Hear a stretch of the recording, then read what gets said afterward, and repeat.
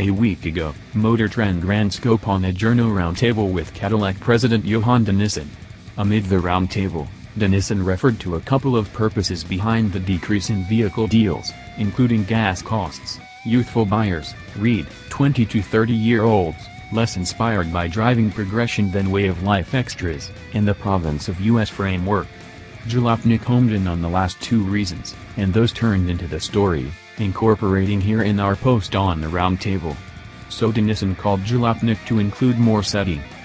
The first response pieces painted de Nysschen's reasons as a reason for lively vehicles not offering great, when the issue is Cadillac's energetic cars not offering admirably.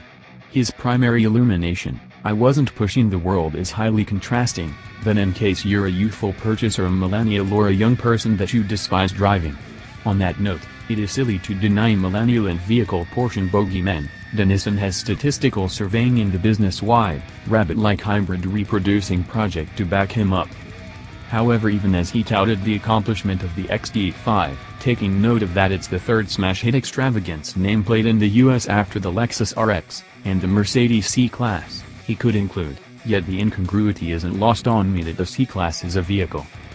The conditions laid out in the subsequent piece infuse more probable shading into the circumstance, the brand's one-time, determined spotlight on the US, trailed by a resolute spotlight on China that left the US advertise needing for consideration.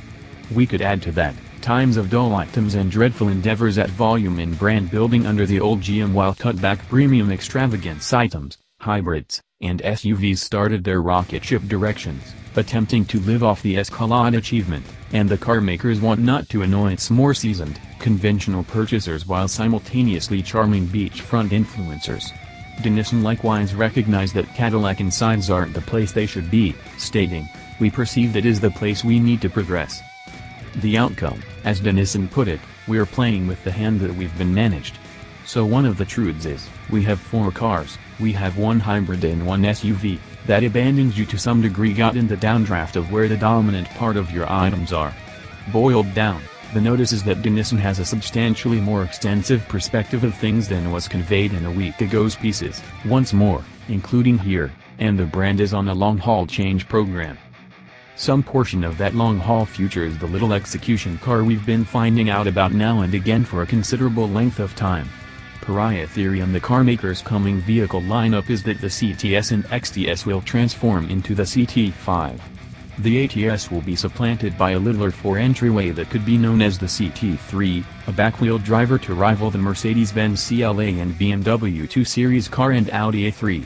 Just the 2 Series accompanies RWD in that portion at the present time, Yet de Nysschen said the Cadillac offering will unquestionably lap the Nürburgring quicker than anybody of our rivals in the class, on the off chance that they think about that.